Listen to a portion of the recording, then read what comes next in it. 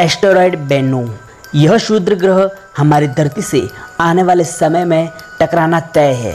दोस्तों, जब यह बेनू नाम का एस्ट्रॉयड हमारी धरती से टकराएगा, तब जापान के हिरोशिमा पर गिराए गए परमाणु बम से अस्सी हज़ार गुना ज़्यादा ऊर्जा पैदा करेगा। और यह टकराव इतना भयानक होगा कि हमारी धरती पर से जीवन खतरे में आ जाएगा। तो दोस्तों, वीडियो शुरू होने से पहले आपसे हमारी एक छोटी सी रिक्वेस्ट है। कि हमारे चैनल को सब्सक्राइब करके बेल आइकन को प्रेस ज़रूर कर दें, क्योंकि हमारे चैनल पर आपको स्पेस एंड एस्ट्रॉयड से रिलेटेड खबरें मिलती रहेगी। तो चलिए शुरू करते हैं एस्ट्रॉयड बेन्नू। यह एस्ट्रॉयड बेन्नू तेज़ी से हमारी धरती की तरफ़ बढ़ रहा है।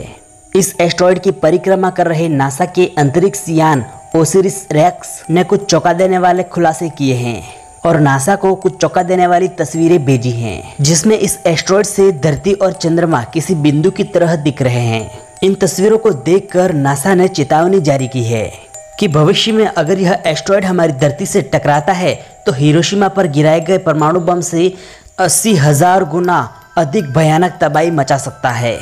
दोस्तों, आपकी जानकारी के लिए आपको बता दें, द्वितीय विश्व युद्ध के दौरान 6 अगस्त 1945 को अमेरिका ने जापान के शहर हिरोशिमा पर एक परमाणु बम गिराया था, जिसमें लगभग एक लाख लोग मारे गए थे। इस परमाणु बम ने विस्फोट के दौरान 16 किलोटन टीएनटी के बराबर ऊर्जा छोड़ी थी। और दोस्तों, आपको बता दें बेन्नू 500 फुट लंबा और 8.7 करोड़ टन वजनी वाला शुद्र ग्रह है। यह विशाल काय चट्टान एम्पायर स्टेट बिल्डिंग से भी लंबा है।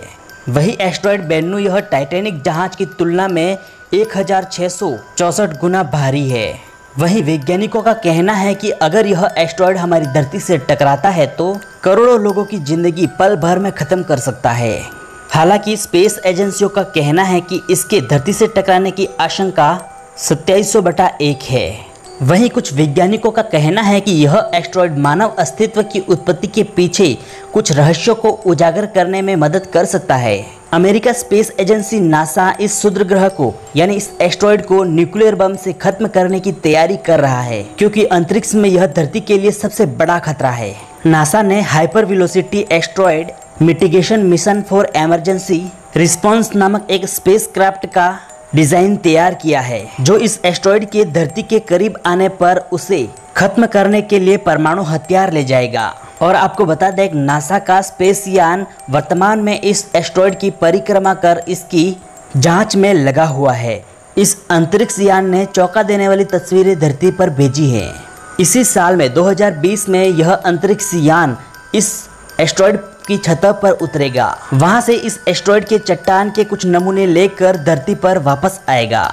इस एस्ट्रॉइड बेन्नू पर उस अंतरिक्ष यान को कुछ पानी के अवशेष भी मिले हैं। दोस्तों स्पेस एंड एस्ट्रॉयड्स की रोचक खबर से जुड़े रहने के लिए हमारे चैनल को सब्सक्राइब करके बेल आइकन को प्रेस करना बिल्कुल ना भूलें। और हमारे वीडियो को लाइक ज़रूर करें।